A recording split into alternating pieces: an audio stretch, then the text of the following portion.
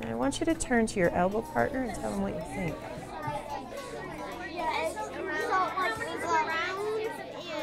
No, not around. Like, I think how many are inside that shape? Inside of the shape. It's um, flat. Um, I think it's the inside of the shape. yeah, it's flat squares that are inside the shape. Well, not really any shape. So we were looking at something engaging. Um, we were looking at something that we felt did a lot of the 21st century skills that many of us are looking for, um, which is again that group work, the collaborative, a, a greater understanding. I see teachers talking less and students talking more. I see kids um, explaining their thinking much more regularly. Um, that might be in terms of them coming to the document camera or in front of the, the room and demonstrating or even just in think pair shares. Um, that's something that we really focused on was think pair shares in the classroom and I've been pleasantly surprised with how that's filtering into our other content areas. Um, in writing I'm watching teachers do that as well because it's such a great technique. Um, you know, turn to your neighbor and talk about this um, and it gets everybody engaged. Much higher levels of thinking and questioning going on. So a teacher's up there talking and even if they don't ask a divergent question, they always follow up with, how did you know that?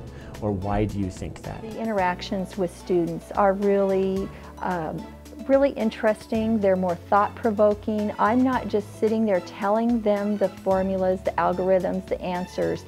There's a lot of questioning. That's my role is questioning to bring out what they already know and try to make the connections to the new knowledge that they're creating. I haven't heard um, a single child this year have a negative attitude about math. They're excited about it. They, they are excited to go to workplaces and practice the, the skills and concepts that they've been taught in group lessons.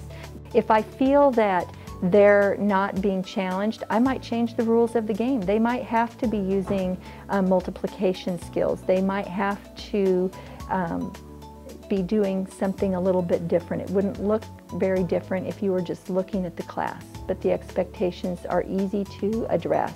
Children that tend to be TAG identified or whether they're not TAG identified, that they just have those higher levels of thinking in place, Bridges is really nice in that it's easy to extend those activities. I might expect to see, instead of three math sentences in every area on Friday figuring, I might expect five, and I might expect them and encourage them to use multiplication. I also feel one of the strengths of Bridges is the ability to differentiate.